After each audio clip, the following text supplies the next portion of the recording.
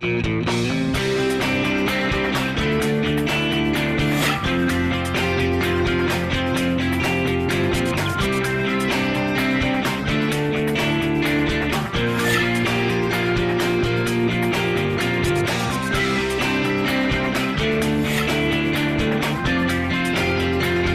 Hi, I'm Avery Davidson. And I'm Kristen Oaks White. Thank you for joining us for this special edition of This Week in Louisiana Agriculture, the only TV show bringing Louisiana farmers and consumers together every week. We're on board the steamboat Natchez. This boat is the ninth steamer to bear the name Natchez, but most people who walk through the French Quarter know the Natchez best for its 32-note calliope. Carl Wiggers will share much more about this storied steamboat later in the show. It really is an amazing vessel, but first let me tell you why we're here in the Crescent City.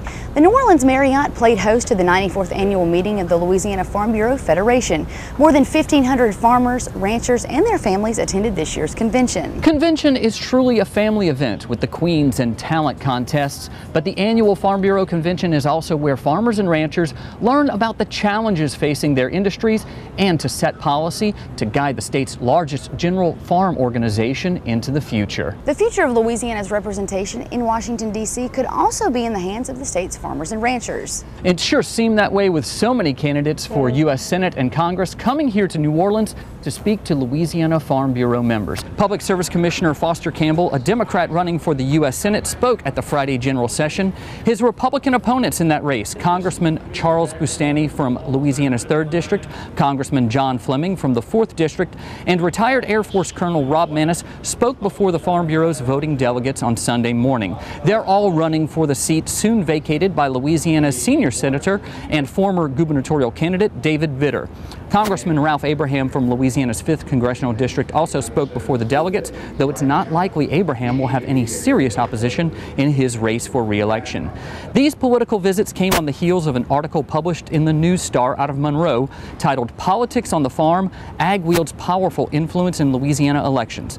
In the article, reporter Greg Hilburn points to last year's Farm Bureau convention as the turning point in the gubernatorial campaign for now Governor John Bel Edwards, and that it was at this forum where Senator David Vitter showed he was a vulnerable candidate. Louisiana Farm Bureau President Ronnie Anderson says the reason is simple why Farm Bureau has such an influence on politics.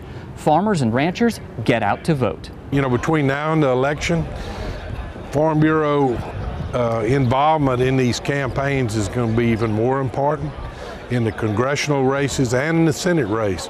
And I think you're going to see more attention made to our boards, our parish presidents, uh, visits to our state board and other other entities in Farm Bureau.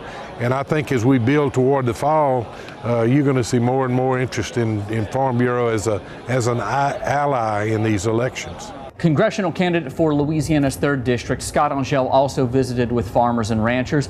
The Louisiana Farm Bureau Convention started the same day the second special session of the Louisiana legislature came to a close.